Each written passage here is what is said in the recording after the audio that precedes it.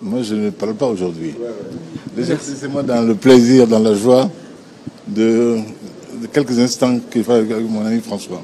Beaucoup d'émotions cet après-midi au palais de Koulouba à l'accueil de l'ancien président français François Hollande. C'est un ami, un frère, un camarade de l'international socialiste que nous accueillons avec beaucoup de bonheur, a répété le président de la République Ibrahim Boubacar Keïta.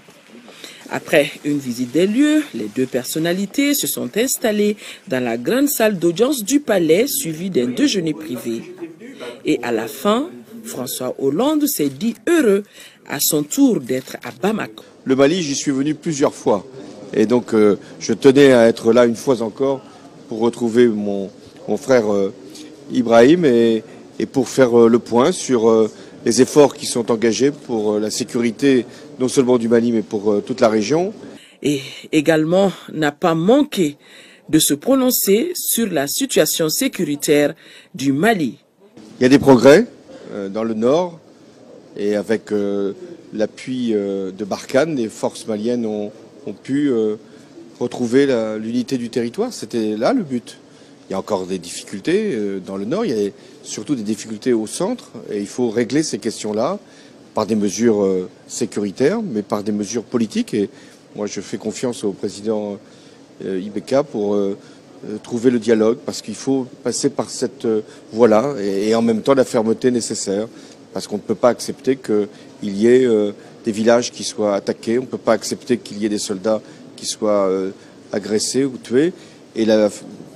Barkhane fera tout pour aussi euh, appuyer, c'est ce qui s'est passé d'ailleurs ces derniers jours, euh, l'action euh, des forces maliennes pour punir ceux qui se comportent de manière indigne. Mais les solutions sont aussi politiques. C'est pour ça que dans cette année 2019, on en a fait le point avec le président Ibeka, il va y avoir des étapes supplémentaires, la constitution, les élections législatives, la décentralisation, tout cela, c'est tout ce que nous avions décidé de faire et qui s'accomplit maintenant.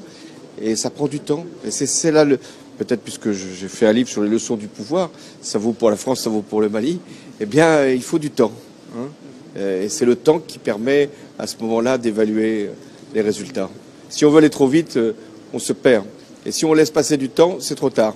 Voilà, le temps étant compté, François Hollande s'installe pour le dernier acte c'est-à-dire la dédicace de son livre pour son frère Ibrahim Boubacar Keïta et direction aéroport président Modibo Keïta pour s'envoler pour la Guinée-Conakry.